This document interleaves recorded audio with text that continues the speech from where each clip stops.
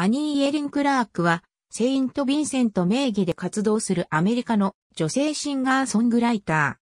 ー。ニューヨーク・ブルックリンを拠点に活動。バークリー音楽院を中退後、ポリフォニック、スプリーやスフィアン・スティーブンスのツアーメンバーとして活動。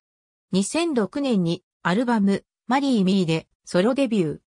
2作目のアルバム、アクターはアーティストからの支持を集め話題となる。3作目、ストレンジマーシーは、批評家から高く評価され、国際的に知られるようになる。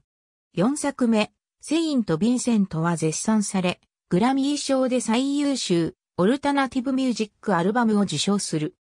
5作目、マスセダクションも前作に続き高く評価され、グラミー賞で最優秀、オルタナティブミュージックアルバムに、ノミネート、最優秀録音パッケージを受賞。収録曲、マスセダクションは最優秀ロックソングを受賞した。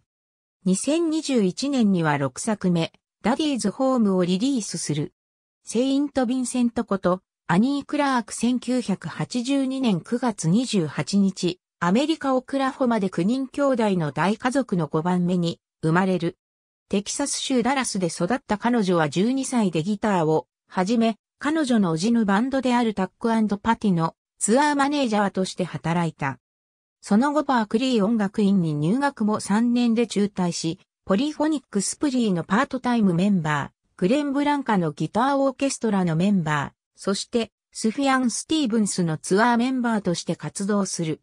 2006年、ベガーズ・バンケットレコードとソロアーティスト、セイント・ヴィンセントとして契約を結ぶ。彼女は詩人ディラン・トマスの大ファンで、彼が亡くなった場所であるセント・ヴィンセント・カトリック・メディカル・センターから名前を取った。翌2007年、ファーストアルバム、マリー・ミーをリリース。2009年、セカンドアルバム、アクターを発表。ベガーズ・バンケットが世に AD に吸収されたため、同レーベルからのリリースとなった。ベックをはじめグリズリーベアやアーケードファイアがファンを公言するなど、アーティストからの支持も集めた。2011年、サードアルバム、ストレンジマーシーをリリース。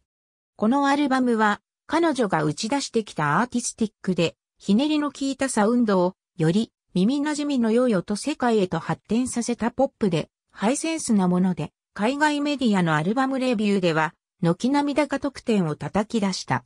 シングル、クルーエルを筆頭にアンダーグラウンドヒットを重ね、ビルボード200チャートで19位になるなど、大躍進を遂げる。各音楽メディアが発表した年間ベストリストでは、NME で7位、九死で8位、ピッチフォークで11位になるなど、キャリア史上最高の評価を得た。2012年、デビッド・バーンとの共作となるアルバム、ラブ・ディス・ジャイアントをリリース。2014年、フォースアルバムにして、セルフタイトル作となる、セイント・ヴィンセントをリリース。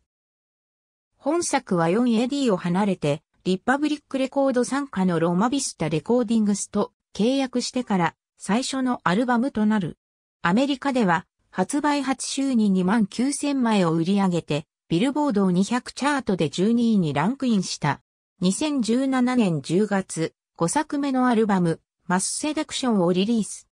第61回グラミー賞で最優秀、オルタナティブミュージックアルバムに、ノミネート、最優秀録音パッケージを受賞。収録曲、マスセダクションは最優秀ロックソング賞を受賞した。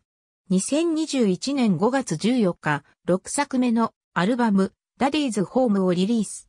アニー・クラーク2015年、イギリスの女性モデルカーラ・デル・ビーニュとの交際が報じられたが、2016年には破局している。その後、新恋人として女優のクリステン・スチュワートとの交際が噂された。ありがとうございます。